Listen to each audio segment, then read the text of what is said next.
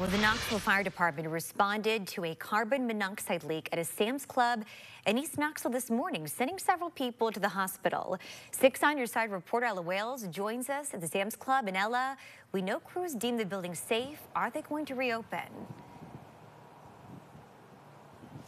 Allison. So this Sam's Club is actually going to be closed for the rest of the day as a precaution, though the fire department did deem it as safe to re-enter the building. However, it is reported that the employees will be paid for a full day of work. But I do want to talk a little bit about what led to this situation. The Knoxville Fire Department responded to the Sam's Club East after getting reports of about six people becoming sick inside the building.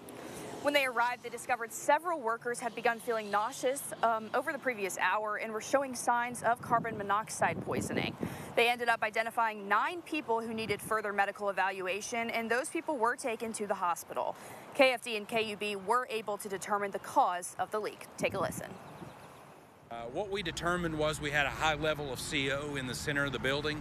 Uh, what that really meant to us was we probably had some type of natural gas leak or a heating and air unit that was malfunctioning.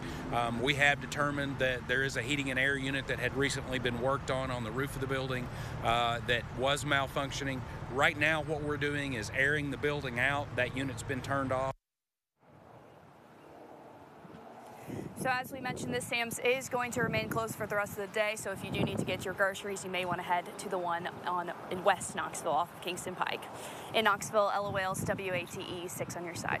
All right, thank you, Ella. We did reach out to Sam's Club, and they say they will continue working with local authorities and are focusing on the well-being of their associates.